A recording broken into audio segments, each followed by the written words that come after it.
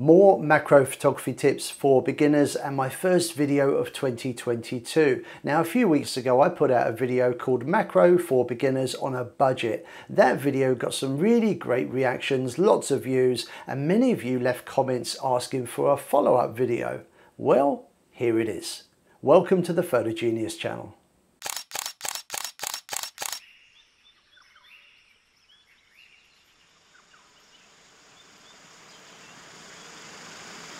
Hi, Paul here from Photogenius. Welcome to my channel where I post regular photography tutorials, all designed to help you get more from your digital camera. So if you are new to the channel, please consider subscribing. This week's video is all about macro photography and is a follow-up to a video that I posted just before Christmas, which was a beginner's guide to macro photography on a budget. And in that video, I showed you how to do macro photography using extension tubes. Now today is a follow-on to this video, but this time I'm shooting outside. I have many of you requesting this, so I'm here today at the beautiful Botanic Gardens and I'm using a Nikon D3500 and a Canon 1500 T7. Now on these cameras I'm using the standard 18 to 55 millimeter kit lenses, so nothing fancy, no macro lenses, but I am once again using the extension tubes. So I hope you enjoy the video. Stick around, it's going to be a lot of fun. This is one of Australia's premier subtropical botanic gardens, featuring native and exotic plants and flowers, a tropical rainforest, lagoon, an absolutely stunning Japanese garden, and of course plenty of wildlife. Located just a few kilometres from the city centre, the Botanic Gardens are well worth a visit if you find yourself in Brisbane. So for my day of macro photography at the Botanic Gardens, I chose to take along two cameras, a Canon T7, which here in Australia is known as the 1500D, also a Nikon D3500, and these are both entry-level cameras and perfect for beginners. Now on each camera, I was using the kit lens, which is the standard 18 to 55 millimeter lens, and I didn't have a macro lens. And that might seem a bit strange, but I don't actually own a macro lens. So how was I able to take amazing macro photos? Well, I was using extension tubes like these. Using these, you can effectively turn a standard lens into a macro lens. Macro extension tubes usually come as a set and are available in different sizes. The extension tube sits between the camera and the lens. This extends the focal length of the lens, making it ideal for macro photography. And of course, if you want to learn more about how this works, check out my previous video, link in the description below.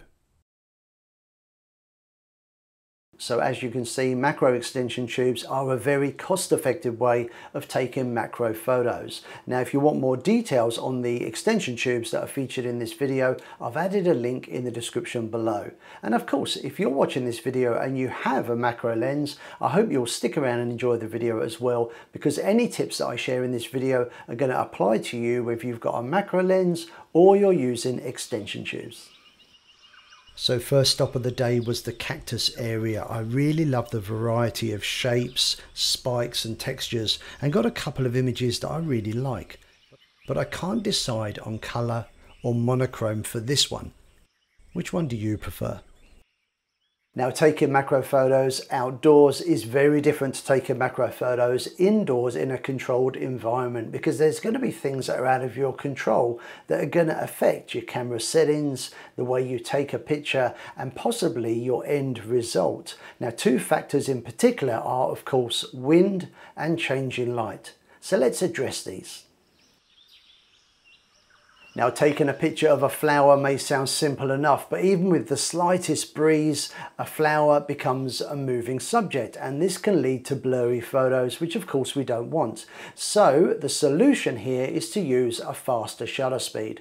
The faster the shutter can open and then close again, the better. And I also needed to factor in my movements as well because for my day of macro photography, I chose not to use a tripod. So not only was the flower moving gently in the wind, I was also hand holding the camera and there's some movement there as well. So I decided that I would shoot at no less than one two hundredth of a second, if possible, even faster.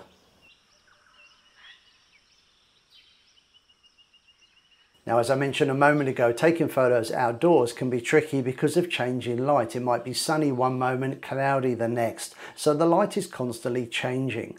Now, whilst I'm a big fan of shooting in the manual mode, sometimes it's good to use the camera's priority modes because then the camera helps you out, allowing you more time to concentrate on nailing the shot and making sure your focus is spot on and things like that. These are things that are incredibly important when doing macro photography. Now, there's two priority modes modes on the cameras, shutter priority and aperture priority. And for my macro photos, I actually chose to use aperture priority and I'll tell you why in just a moment. So now I want to talk about something called depth of field. Here is an image that I shot with the Canon camera using the macro extension tubes.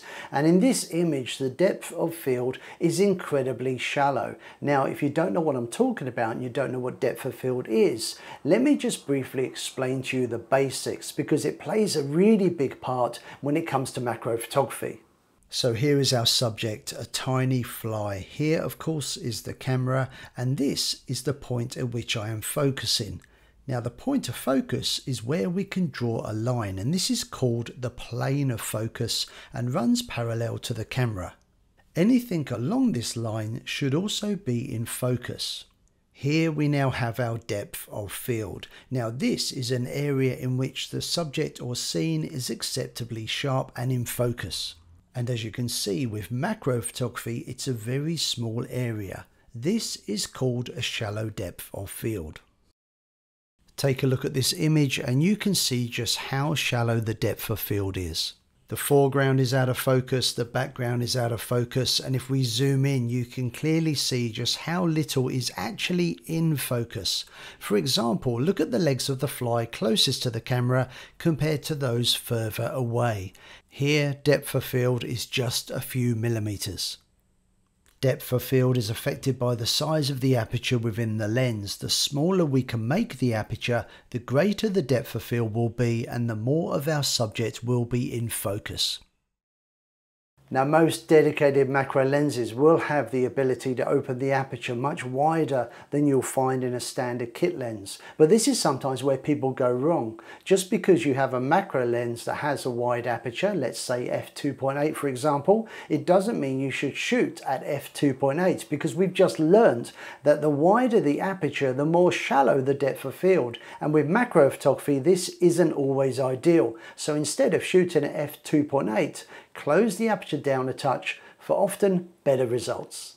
Now before we take a look at some more macro photos and I share with you the camera settings that I used, I want to tell you about a very special offer from Skillshare who are supporters of the Photogenius channel and have kindly sponsored this video. Skillshare is an online learning community featuring thousands of inspiring classes for anyone who loves to learn, explore new ideas and discover new skills.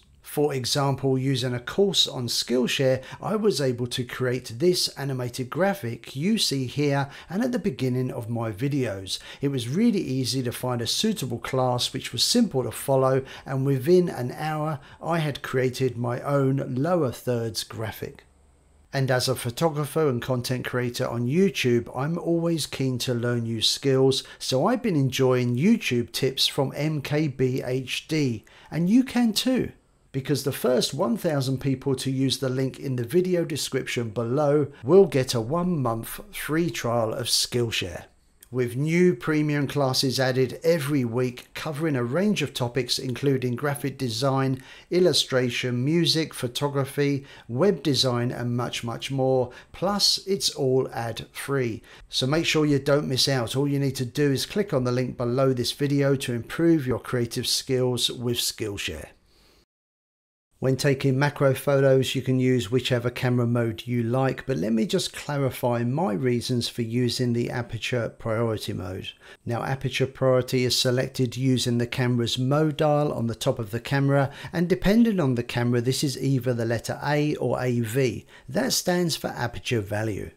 Now I wanted to control the aperture because as we've learnt in this video, aperture can greatly affect depth of field and how much of the image is in focus. And I was happy for the camera to look after the shutter speed. All I needed to do was keep my eye on it and make sure that the camera selected a shutter speed that was around 1 200th of a second or higher. If it did dip below this, then I raised the ISO. Now let's talk about bees. Now I must have been a good 15, 20 minutes or so trying to get the perfect shot of a bee in flight but it is so hard because they just don't stop moving. And look I've no problem at all showing you my misses because there are plenty of them. I just kept trying and trying and trying and that's all you can do. I did eventually get a shot that I quite liked and I would probably rate this one maybe a 7 or 8 out of 10 but I've yet to get the perfect bee in flight shot. I'll get it one day I'll just keep trying Okay, next, let's talk manual focus. Focusing can be very tricky when you're so close to the subject and although you can use autofocus, my recommendation would be to manually focus the lens. To do this, you can select manual focus via the switch on the lens. If your lens doesn't have a switch, then you can select manual focus using the camera. So now the autofocus is turned off, you simply rotate the focus ring on the lens until the subject is in focus.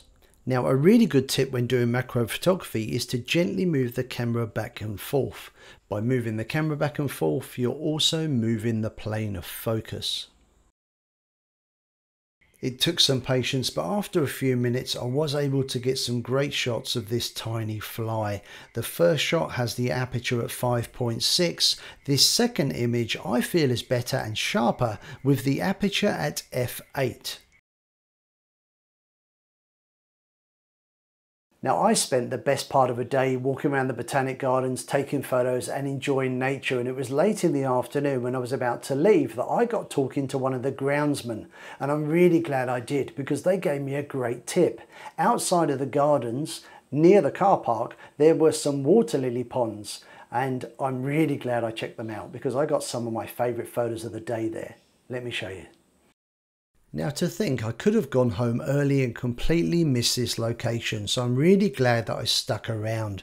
I absolutely love the colours of these amazing flowers and this dragonfly did its absolute best to avoid me but I persevered and managed to grab this really cool shot.